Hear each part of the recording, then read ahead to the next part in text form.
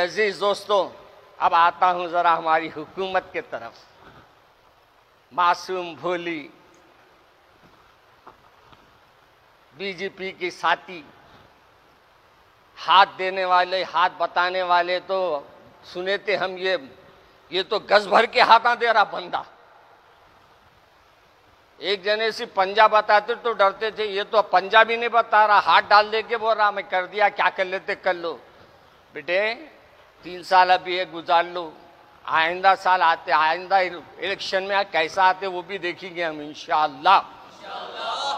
अल्लाह तुम्हारी तख्त को तुम्हारे नीचे से ना खींच ले तो मेरा नाम जाफ़र में। तुम अल्लाह के घरों को गिराते हैं तो अल्लाह तुमको गिरा के बता देगा। पाँच लोग आए, उनके चेले यहाँ फिरते रहते हैं। उनके साहेबजादे आजकल ओल्ड सिटी का दौरा कर रही मुझे नहीं मालूम था, नहीं तो मैं सामने आके ठहर जाता था उनके। वो तो आके निकल गए उन्होंने उसके बाद मालूम हुआ। मगर याद रखो, हम बात क्योंकि खामोश इस से है कि पर्सनल लॉ बोर्ड ने हमको ये हिदायत दी कि दो हफ़्ते इंतज़ार करो। हम दो हफ़्ते इंतज़ार करेंगे, उसके बाद ये हुकूमत को हम आग बता देंगे और दीदे बताकर बात करेंगे। मौत से डरते नहीं मियाँ, हम तो आए हैं मरने के लिए और मरेंगे। क़ियामत में उठेंगे तो शान से उठने वाले हैं। सरकार के उम्मती बन के उठेंगे।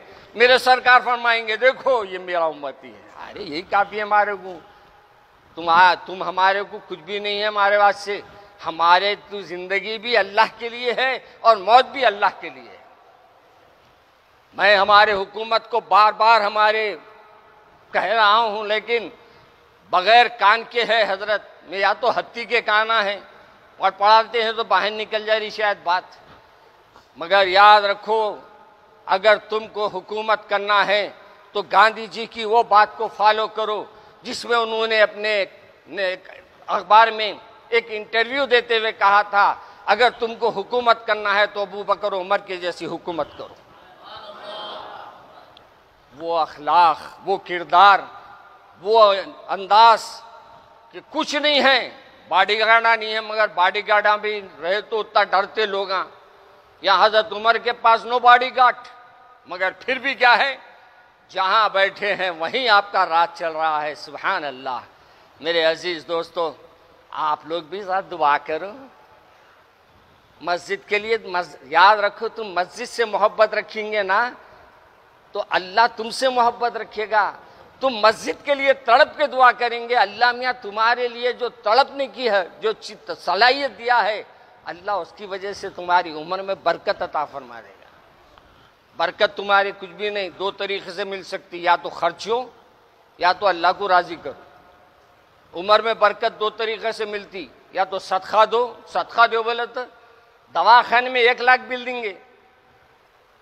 तो अच्छे काम को दो पैसे, डेढ़ सौ रुपये दो दो वही दवाखाने का आ गया लेटर। दवाखाने की बिल है एक साहब को हार्ट अटैक हुआ गए थे मैं बोला कई को हार्ट अटैक हुआ तो उन्होंने तो शुगर के वास्ते गए थे ना। तो लेने वो शुगर के जब इलाज हो गई, उसके बाद बिल आई, वो बिल देख के उनको हार्ट अटैक भी हो गया। एक बीमारी थी उसको दो बीमारी में चले गई। अल्लाह के से दिया करो, अल्लाह की राह में दिया करो। अड़ोस पड़ोस का ख्याल रखो। अड़ोस पड़ोस के लिए अपने घर से कुछ अनाज भेजो, पैसे भेजो, ताकि तुम्हारे घर के बाजू चिराग जलेगा, तुम्हारे घर के बाजू चूल्हा जलेगा तो शायद अल्लाह तुम्हारी उम्र में बरकत अता फरमा दे और इसी तरीके से जब तक तुम अपने मौला को राज़ी नहीं करेंगे ना, तुम्हारी उम्र का कोई भरोसा नहीं है। अल्लाह तुम्हारी उम्र में बरकत कब देगा? अल्लाह को राज़ी कर लो, अल्लाह तुम्हारी उम्र में बरकत देगा।